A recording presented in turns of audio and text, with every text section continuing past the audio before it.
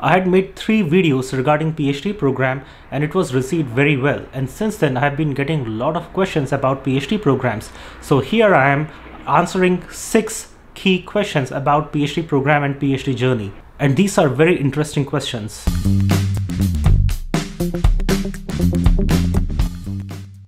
This is Chaitanya Sambhara, faculty at the College of Business, University of Texas, Arlington. So the first question is, why did you go for PhD in USA?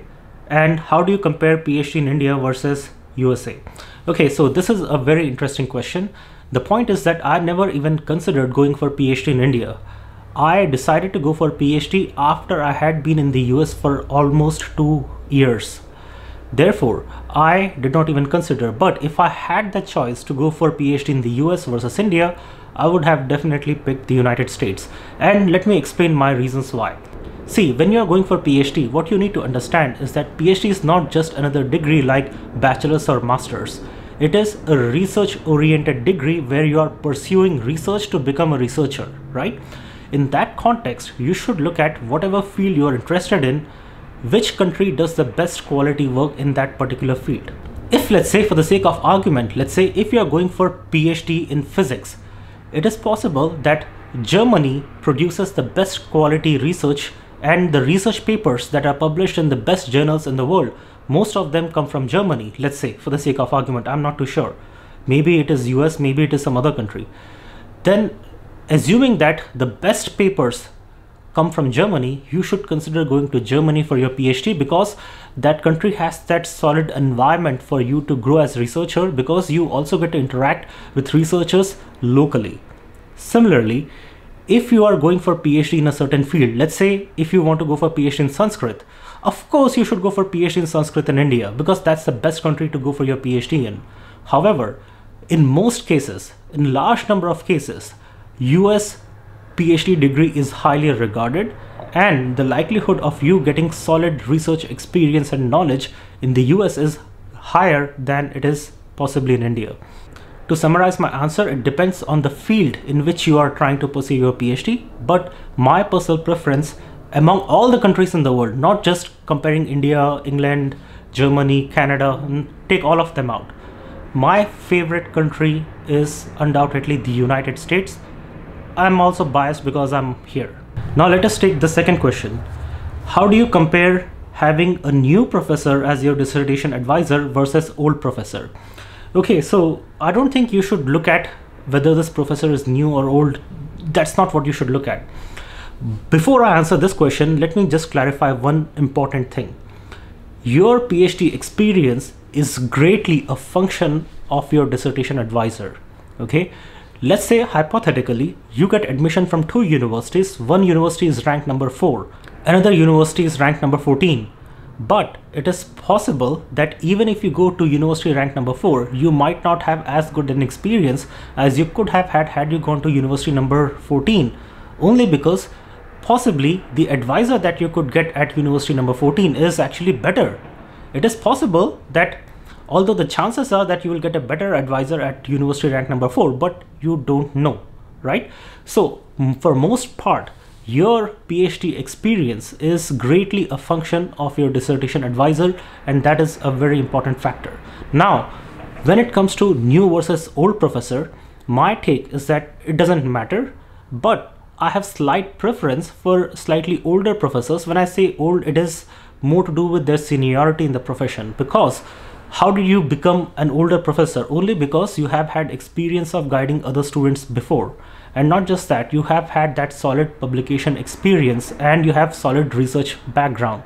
Now it is possible that a new professor is much more energetic and is more productive as compared to an older professor who has not been publishing very well for last 5-10 years. In that case, you should try and see if working with the new professor might be good for you. Again, it depends on the professor's productivity. Second, it depends on professor's experience with research or the passion for research. And third, extremely important point is the professor's personality and your chemistry with that professor. Because I promise you that some people go through hell during PhD programs only because their relationship with their advisors goes really bad. And I have seen people suffer a lot as well. In fact, I know of one girl who was at a particular university she had to quit her PhD program because how depressed she got because of the behavior of her advisor. And remember that she was at a top university, so it did not make any difference. In fact, going to that top university actually hurt her. Therefore, please do not blindly select your advisor. Please take courses in the beginning and see who you want to go for. Okay, and when you have seen enough professors by going through their doctoral classes, you can see which kind of professor you get along well with and then make sure that they are also productive researchers. If the professor is very nice to you but it is not doing any good quality work then also it is pointless. But overall it matters because keep in mind that in my view finding a dissertation advisor is like getting into an arranged marriage you can either be very lucky or you can be very unlucky but for most people people have decent uh, relationship with their advisors now in my particular case I was the luckiest person in the whole world only because I got the best dissertation advisor in my view anyone could have got. And in my particular case, even before I started my PhD program, I knew that I want to be his student and nobody else's student. And not just that, if not him, I will not even go for my PhD. Had my advisor told me that I do not want you to be my student anymore, I would have quit my PhD program, no doubt. So let us go for our third question, which is internships during PhD is it recommended and how many people go for internships so it completely depends on the field in which you are getting your phd in usually phd is a degree where you are trying to become a researcher. Internships at companies i believe that's what you mean are oriented towards industry and the work that you can do for that company okay? These two are not always the same thing except there are some fields in which doing an internship might actually be helpful for your phd program. For example, if you're in computer science, you can go work for Google or Microsoft. If you're in aerospace engineering, you can do an internship with SpaceX or you can go do an internship at NASA and so much and so forth. And you can have solid collaboration with such companies and you can actually take your research forward after having those internships at those companies. And it is also possible that is in many cases where people actually go and work in that particular company where they had interned while being a PhD student.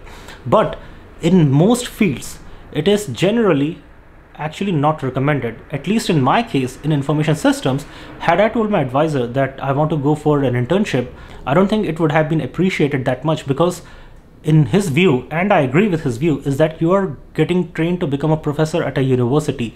This internship will actually take your focus away from your research papers. Therefore, focus on becoming a better scholar rather than working for a company because you have chosen this path of going to academia and doing scientific research. Question number four How to deal with leaving parents and family alone in India while doing a PhD in the US? Okay, so good question. So, my response to that is that if you want to grow, you have to break the shackles. Okay, a chick inside an egg has to break that egg to come out and experience freedom. A chick cannot say that I want to stay inside egg because it is more comfortable. Growth happens only when you get out of your comfort zone. So if living with your parents is your comfort zone, then just stay there. Don't go for PhDs. Okay. Now, if you want to grow, then you have to leave to go to a place where you can actually learn and become more independent. Let's be real. Your parents are not going to be with you forever and you are going out for a reason you're not going out for some drugs or some bad things you're going out for quality education if for the right reasons if you leave your family behind and pursue knowledge you have to do that. If not what is the other option? Don't grow don't learn. Just stay back right? And that takes us to our next question which is taking care of your mental health during phd how did you navigate through difficult personal situations? I don't know why would you assume that uh, I went through difficult personal situations, but in my case, it is actually very true. In fact, I went through very, uh, how should I say, a traumatic event in my personal life during the PhD program, and it completely shook me up. And therefore, mental health is very important. Now, how do you handle that situation? The point is this the people who have challenges let us divide them on let's say somebody is completely helpless is very poor cannot do anything and they get very depressed and the other category are very rich and successful people who have achieved everything. There's nothing for them to achieve so they don't know what to do with their time and mind. During phd fortunately you are on a mission right? What happened in my case in particular was that i was a dirt poor phd student who had just experienced severe traumatic event. Now what do you do? Just sit and cry all the time? I tried doing that, but the point is that it does not help you in any way. It is not helping you improve your life in any way. So while you are going through that emotional turmoil, you need to also know that if you do not do the task at hand, it is only going to get worse. Therefore, buckle up, pull your socks, get into that mode and try and get the work done. Because in my case, I was a very poor doctoral student. Now, did I want to live this life forever? Hell no. I wanted to get out of the PhD program successfully so that I can have a better life later, which I have now. So now, how did I handle that? Because you have something to fight for. Regardless of your mental health, whatever situation you are going through, you have to give it a fight. And how did I handle that? Let me just try and summarize very briefly my personal inclination was towards the Bhagavad Gita because I used to go to weekly Gita satsang and that was my way of keeping myself sane. So now this is my personal take. I'm not saying that you should follow exactly my path. Maybe for you, gardening might be something that helps you heal better. Therefore, do not ignore your mental health.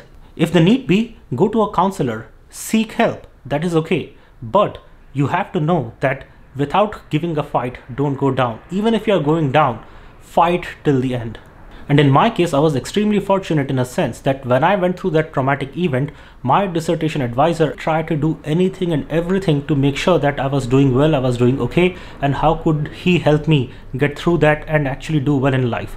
And therefore, I'm very grateful to him. And now we come to our last question, which is how did you deal with the hard times during your PhD? Hard times specifically mean the extended periods with bad productivity. Now, this is a very key question. Now, if you are not being productive, and then if your advisor doesn't stop you right there, that means that your advisor does not care about you. Let me just give you my real experience. Between the first year end and before the second year started in my PhD program, there was this period of the summer semester, right?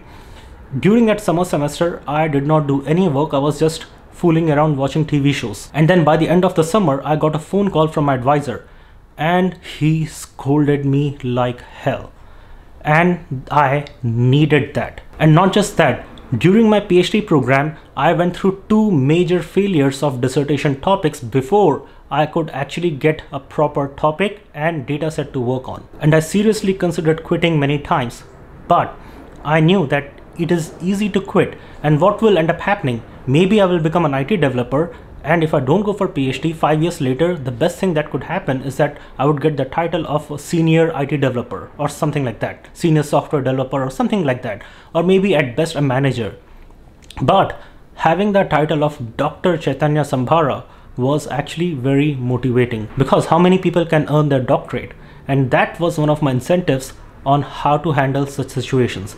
Now do not expect that you will be productive every single day but you can measure your success on a daily basis okay? It is success is not something that happens that today i will go and perform greatly. No. On each and every single day are you getting something accomplished? Did you write at least one page of your research paper that day? If not one page did you at least go through one paragraph of work for that day? If yes then try and do little better the next day. And let me share one incident what happened is that when I finished my dissertation, I had a deadline by which I should send my dissertation to my dissertation committee, right? So I came to my office at 8 in the morning that day and then I worked until I finished all that work. And I was able to send my paper the next day at 11 o'clock. So I worked non-stop for 27 hours. Now when I say non-stop 27 hours, of course I took breaks to go out and eat and then took a minute or two long walk and whatnot. But I stayed awake all night and after I finished that 27 hour streak, I collapsed on the floor of my office and I woke up 4 hours later and then I went home to take shower. And I still remember how exhausted I was after that 27 hour streak. And I genuinely believe that these are the experiences that make your PhD journey very fulfilling. If you always had good time in your PhD program, it's not really fun. It is kind of boring. So you should go through good and bad times and do not just stick to being a researcher. Have fun as well. Because in the PhD programs a lot of times you get opportunities to go to attend conferences right? So when I went to conferences in Italy and in New Zealand I actually made a vacation out of them. So actually I traveled several countries while being a doctoral student in the US so I hope these answers were helpful in some way. Thank you for watching. Jai Hind and God bless the United States of America